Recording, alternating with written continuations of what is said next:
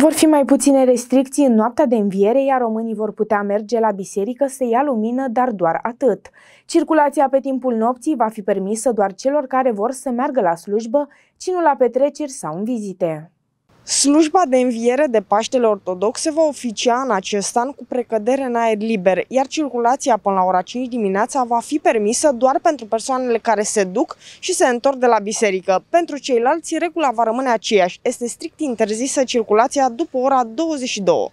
În noaptea de Paști, restricțiile de circulație se ridică, iar creștinii vor putea participa la slujbele de înviere. Nu vor trebui să completeze declarații doar pentru a merge la biserică. Cei care nu vor participa la slujbe vor rămâne acasă. Autoritățile au precizat că această relaxare să nu fie un pretext pentru a merge în alte locuri, cum ar fi petreceri sau vizite. Din punct de vedere al regulilor sanitare, care au fost uh, formulate săptămâna trecută, în noaptea de Paști vom avea voie să circulăm, deci restricțiile pe timp de noapte vor fi abrogate doar pentru această noapte și oamenii vor putea circula, dar numai pentru a merge la biserică.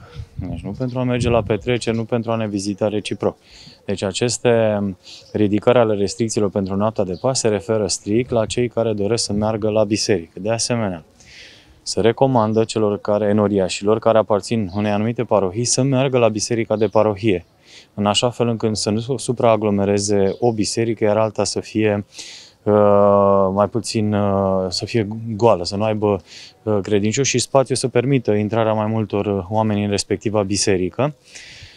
Uh, Paștele va fi dat în condiții de igienă, în exteriorul bisericii. Mare parte din slujba din noaptea de pase va petrece în afara bisericii, deși aceste reguli permit ca slujba să se desfășoare conform canonului în biserică și în afara sau în afara bisericii. Depinde cum decid preoții respectivi sau cum ne permite vremea. Pentru că dacă avem o vreme vitregă cu fenomene meteo extreme, furtuni, vânt, atunci clar vom încerca să facem slujba în interiorul uh, bisericii, dar acolo unde se poate, slujba va fi săvârșită aproape integral în afara bisericilor. Credincioși vor putea sta și în biserică la slujba de înviere, dar în număr limitat, cu respectarea regulilor de distanțare.